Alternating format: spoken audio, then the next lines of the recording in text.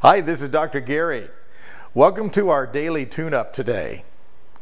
I want to talk about discouragement. We've talked about this before, but discouragement is something that we all feel and face once in a while. We go through life wanting every day to be a party, wanting every day to be an amusement park ride, wanting every day to be fun, be positive. However, there are days that come along, and if you're having one of those days today or this week, or have had these days frequently here lately, and you're discouraged, I want to help you with that today. What discouragement really is, is the way we look at current situations. Many times we're striving, we're working, we're doing everything we possibly can and doing a lot of it correctly. I know people that are looking for jobs right now. I think of a couple of people in particularly that are doing it really right I mean, they're doing their diligence every day on the computer. They're on Craigslist, they're on Monster.com, they're on every website known to man, applying for what few little positions there are with a perfect resume, the perfect follow up, the perfect attitude, visualizing, focusing, being positive, expecting good things to happen, only to get turned down. They hired someone else over and over again. It's easy to get discouraged. And I know many of you that are going through this feel like you're the only one. Right now, in the market that we have, this is going on with everyone that doesn't have a job.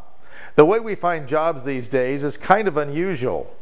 The internet has created a wonderful medium for information, for learning things. However, in my own personal opinion, I think it's probably the worst way to find an employee because you never know the character of the person. You never know what they look like as you look into their eyes. You don't hear their voice. You don't get the temperature of their personality. It's just a cold resume with basic little qualifications on there that says pretty much nothing about that individual. We are much deeper than that. So if you're discouraged today, understand many people are going through this. To rise above your discouragement, step outside of your own box. Look at reinventing the way you're doing job searching. Look for new angles and new ways to focus on yourself. And also, sometimes your answer is right in your backyard. Many people say, well, there are no jobs here, or there's no jobs where I am.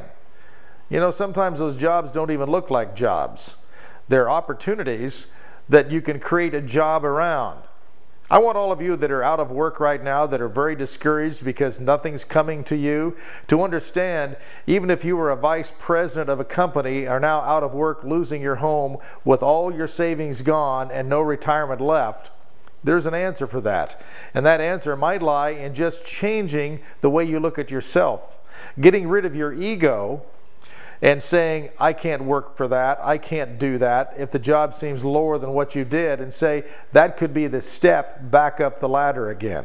Being willing to make those changes, being willing to take a lesser job to make a little bit so you can make a lot.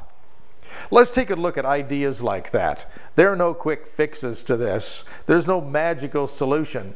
I can tell you this though, there is failure if you quit.